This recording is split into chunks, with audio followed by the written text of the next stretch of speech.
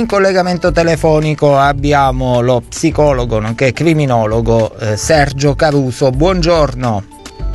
Buongiorno.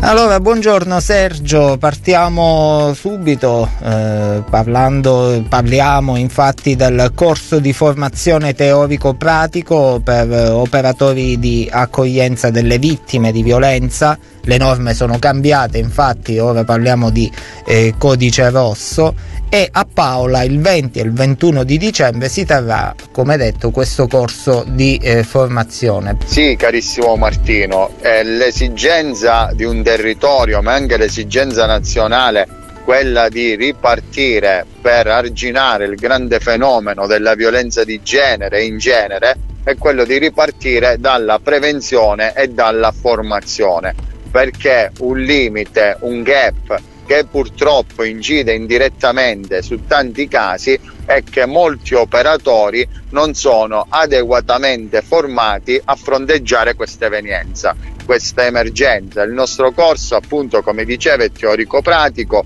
è un'infarinatura perché è collegato poi al master di criminologia della Calabria per chi volesse diventare uno specialista della materia offre degli spunti di informazione e anche di riflessione. È organizzato dal CIF provinciale, diretto dalla dottoressa Concetta Grosso, e dal Master Criminologia della Calabria che dirigo con il supporto logistico del eh, CIF di Paola, diretto dalla dottoressa Maria Pia Serranò e anche il comune di Paola è stata abbastanza pronta ad accogliere la nostra iniziativa e a fornirci gratuitamente una sede per accogliere tutti. Ecco, ed è, è, quindi importante che tanti eh, seguano, anche perché come hai detto eh, poc'anzi eh, molti operatori sono eh, impreparati e magari fanno danni in tanti casi, no? Certo, perché eh, non ci possiamo permettere di essere approssimativi. Questo è un lavoro che non può rientrare più nel quadro del volontariato, ma deve rientrare in un'ottica di un intervento specifico, mirato e soprattutto professionale. Benvengano i volontari ma devono essere volontari operatori formati che affianchino professionisti altrettanto formati, in cui bisogna intervenire su tanti ambiti, sulla prevenzione, sull'intervento, sugli ambiti psicologici, anche sugli ambiti forensi alla fine. Però deve essere un lavoro a 360 gradi, come una grande catena di distribuzione in cui ogni pezzo, ogni ingranaggio deve essere ben collegato perché noi dobbiamo tutelare appunto le vittime in tutti i suoi aspetti. Tante volte ci sono degli operatori invadenti, abbiamo letto in alcuni casi, e questo logicamente intimorisce anche le donne che magari eh, hanno bisogno di aiuto e di sostegno.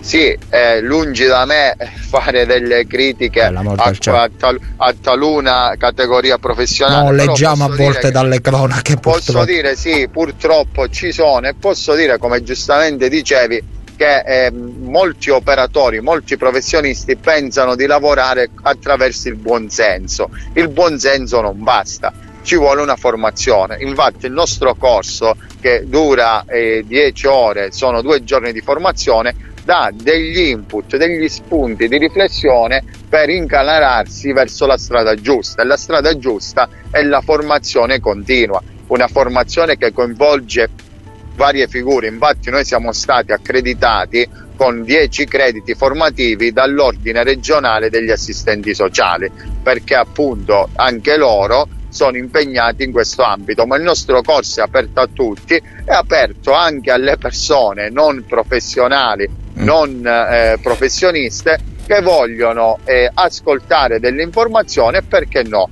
essere utili attraverso i nostri sportelli di informazione come operatori, come volontari, perché la sfida sociale contro la violenza sulle donne deve essere un impegno di tutti e c'è bisogno di tutti. E allora Sergio, in chiusura ricordiamo l'appuntamento.